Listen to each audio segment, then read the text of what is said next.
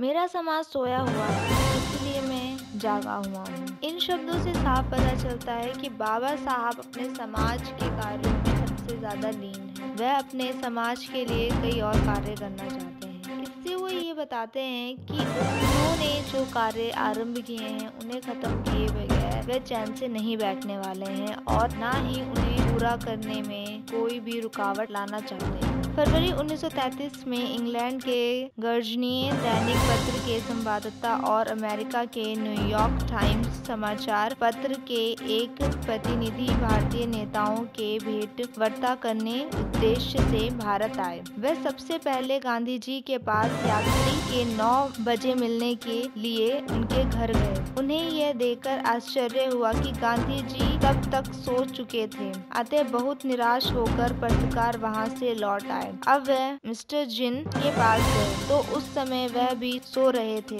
दोनों पत्रकार इस बात से बहुत हताश हुए अतः मैं वह बाबा साहब के पास बहुत रात गए। उसने मिलके राजगृह पहुँचे। बाबा साहब डॉक्टर अंबेडकर के पास पहुँच उन्होंने सुगत आश्चर्य हुआ की इतनी रात होने पर भी बाबा साहब अध्ययन कर रहे हैं।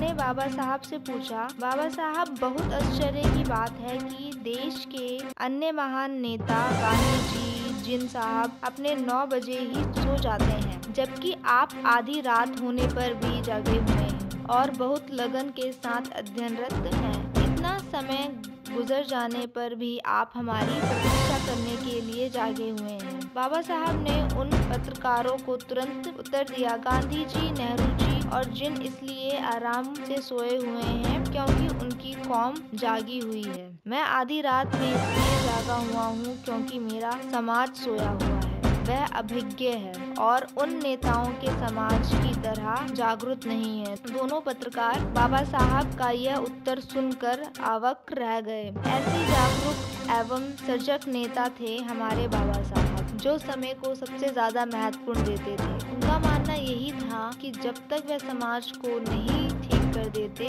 वह शांत नहीं बैठेंगे। इससे वह दोनों पत्रकार भी प्रभावित हुए। उन्होंने न केवल उनके लिए एक अच्छा लेख लिखा, बल्कि देश में एक नए वीर की कहानी तक को भी फैलाया। अगर आपने अभी तक हमारा चैनल सब्सक्राइब नहीं किया है तो सब्सक्राइब करें और घंटी का बटन बिल्कुल भी दबाना ना भूलें, ताकि सभी लेटेस्ट खबरें पहुँच सकें आप पे सबसे पहले।